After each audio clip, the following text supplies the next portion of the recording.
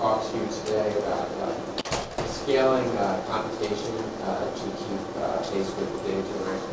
Is is uh, asked to talk about. And uh, I thought I would just um, begin by talking a little bit about um, the scaling of uh, data generation in sequencing and genomics, which is really advises that biology. This curve I'm sure you've all seen is from the um, NHGRI website, and it shows the scaling in uh, sequencing data generation, which as you all know has been amazing and of the things about DNA sequencing, which is scaling. So until about 2007 or 2008, this was of course uh, scaling exponentially. This is a straight line on log plot, which shows exponential scaling. And it's following the exponential scaling that we've traditionally seen in the computer industry around 2007, 2008, we of course got this amazing uh, advent of next-gen sequencing where we got this hyper-exponential scaling. Sequencing became much cheaper and cheaper. And then notice, though, that subsequently we look like we kind of resumed to some degree paralleling that um, Moore's law line. And so people have a lot of time talking about, you know, is the scaling exponential or is it not? How do we think about scaling into the future? Um, I'd like to posit that scaling in um, DNA generation actually follows what we say. It doesn't follow Moore's law. It follows this thing called Kryder's law. So what is Kryder's law? Well, uh, Kryder was the uh, vice president of Seagate, uh, and he came up with the scaling law very like very much like Moore's law to describe the way uh, disk drives get bigger and bigger, and we can store more and more information. And it's an exponential scaling schedule, just like Moore's law. The key thing that he observed, which I think is really is that this straight line, this exponential curve, is actually made up of a superposition of different S curves. Each S curve describes a different technology that's developed, matures, and then is phased out. Okay? And so, for instance, for disk drives, we have different writing mechanisms that were wheeled in, for instance, during the 1990s. And I would like to posit that that, that curve that we just saw for sequencing is one of these kind of S-curve-like uh, phenomena. And I think that this um, Kryder's law or Moore's law phenomenon obviously governs much of what we see in the um, computer world, and it, I believe it also governs what we see to some degree in the sequencing world. So then the question is, how do these two scaling behaviors come together? And this schematic kind of shows kind of how to think about it a little bit. So, you know, let's look at the costs in a kind of sequencing experiment, you know, around 2000 when the human genome was done. Well, this uh, sort of schematic shows that most of the cost obviously went into the sequencing itself. Okay, it's very much like when they first started taking pictures. Most of the money went into actually the daguerreotype, making the photograph, and a little bit went into the sample acquisition, and a little bit went into the downstream analysis.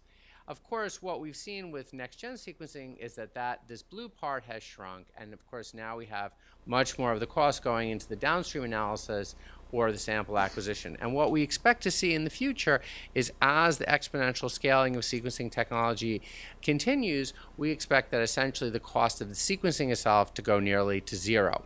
And when that happens, of course, proportionally most of the cost in one of these experiments is going to be taken up by downstream analysis or sample acquisition. It's very much like in photography, where nowadays it costs nothing to take a picture. You can just do that on your iPhone. So what the big thing about photography now is the, you know, picking the subject, doing interesting things with the photographs.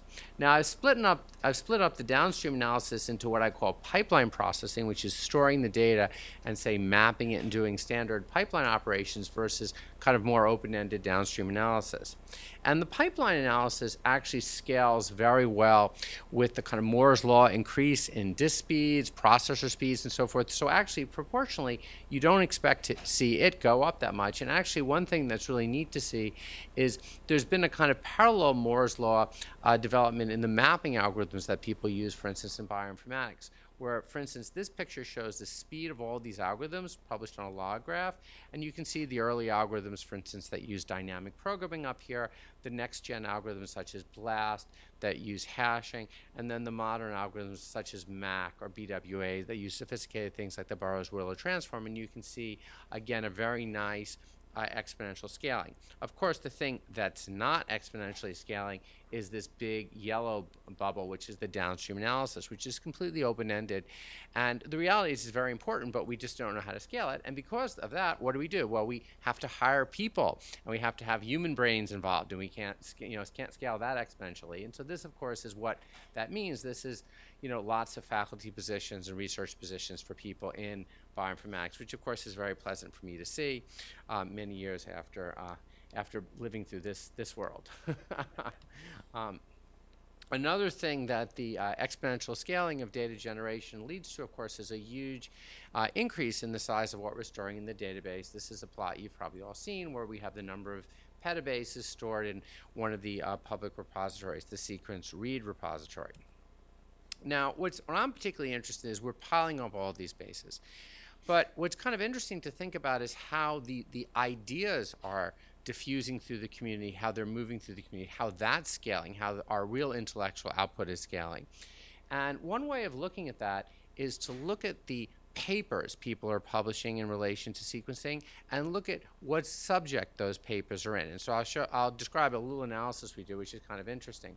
So this picture shows um, the number of bases associated with publications in different journals. The different lines are different journals, and this line over here, this is Nature. So this is the huge amount of data that's associated with Nature. Nature has traditionally dominated uh, genomics. These lines show, for instance, Science, Cell, uh, another, another other prominent journals, genome biology. But what's really interesting is to look at this down here. These are journals such as Nature Chemical Biology, um, molecular ecology. We see sequencing technology and sequencing ideas diffusing into these journals. And very quickly, I've looked at this idea of kind of diffusion of sequencing ideas in a number of contexts. One way of looking at it is looking at what we see happening with various genomics data sets. I've been very involved with this particular data set associated with the ENCODE consortium, where they've diagrammed the publications in the consortium in blue over time versus those that use the data in red. Obviously, the people using the data rapidly increasing after the data was produced. But what's interesting is because these are publications associated with people, we can actually build the social network of how they're used. And this shows the social network as of 2014 of people using this data. And what you can see when you look at each person in the network, you can see they break into different groups. There's people in the consortium, shown in yellow, that have high connectivity in the consortium. There's people outside that have high connectivity outside. And then there's a few people that have high connectivity both inside and outside the consortium. And we call these brokers. This is this kind of second circle here in this network. And these people are really key in terms of the scaling and diffusion of this information outside the little uh, generating group. And what's really neat, of course, is not only can we look at this network, we can actually watch this inner group develop over time from 2004 to 2013. You, it's almost like a planetary system you see developing, and you can see this diffusion process actually happening. Okay, so I'd like to uh, just conclude. So I've talked to you about essentially two uh, bits of work that have been done in my lab over the years. One was this by Paul Muir, who's a graduate student, actually with me and Farren. Uh, and also uh, Joe an associate research scientist. They worked on the scaling behavior, and Daifeng Wang, an associate research scientist who's moved on to um, a faculty position, worked on the um, ENCODE analysis. And the quick things I've talked to you about is the exponential falling of sequence costs. I think the key thing is to keep in mind this Kryder's law idea in addition to Moore's law, uh, and how uh, we see with that, of course, the Moore's law increase in computing, and because of that, a fairly constant use of kind of pipeline processing, but this vast expansion of downstream analysis. Um, and then I think a very key thing we also see is this idea of kind of how the knowledge actually scales and diffuses out of genomics and the sequencing world into other fields. And I think that's a particularly interesting thing to see. And here I've kind of shown you how, to some degree, you can see it mediated by key connector or broker individuals. And thank you for your attention.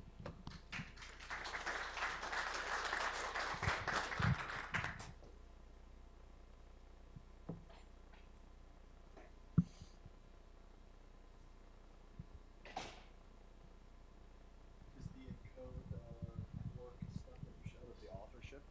Is that published somewhere? Yes, Yeah. yes, no, that's in that second thing in Oh, that that's T- the sec- TI, TIG paper, and you can actually, um, well, you know, one thing that's nice about this stuff is that you can download those um, networks and whatnot if you want to see further diffusion or see see if your friends on the network and so forth.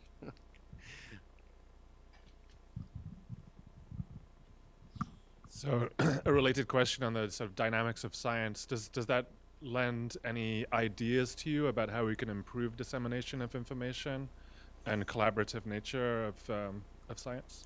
Well, I think I think what one of the things I was pushing here is I think it's all great when our data generation is going up exponentially, our computing is, but I think the key thing, really, in terms of getting ideas out, is this diffusion process, and the diffusion process is fun, fundamentally mediated by people. And I do think that the what I was trying to highlight was these connector individuals, and really thinking about how to select those, and and you know, ideas really are transmitted by other people. That's the fundamental thing, and you know, how do you get those connector people and to spread your ideas and so forth.